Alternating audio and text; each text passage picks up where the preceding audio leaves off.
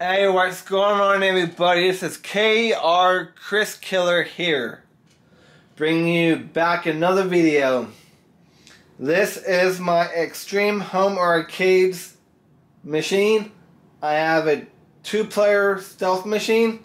I got it from David at Extreme Home Arcades, based in Stevens Point, Wisconsin.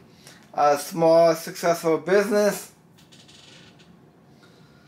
They do offer other arcade machines and types and customizations. If you want interested in getting one, you can contact David at Extreme Home Arcades. David is excellent when it comes to sales and support questions. He will get back to you if you respond to him. He will get back to you. Think faster than he can possibly could. My stealth machine two player is great. This is not a plug and play system. I want to be very clear. You have to configure a few settings, tweak the settings, map the controls on the control panel and controllers. Other than that, my machine, I'm very satisfied. I love it. I love to play classic games, console games, gun games with uh, AimTraks.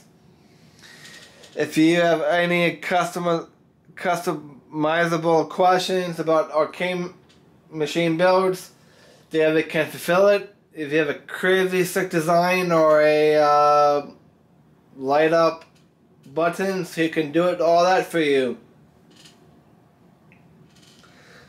D. Thomas and Scantron on YouTube, they both had a lot of videos before I purchased it. Because of them, I made a final decision giving David at EJ call. David was very patient with all my questions and answers that I had for him. Even though that I did call him a lot for the emails and phone calls, he responded back very quickly. This is my machine. And I, I had all the upgrades, all the bells and whistles on it. Can't be happier. If you're thinking about getting a EHA machine, please get David at Extreme Home Arcades a call, and they'd be glad to call you or respond back to you on email. Nothing but positive things about my machine. I know that on Tuesday I'll be interviewing David at Extreme Arcades, bringing you back another video again on that.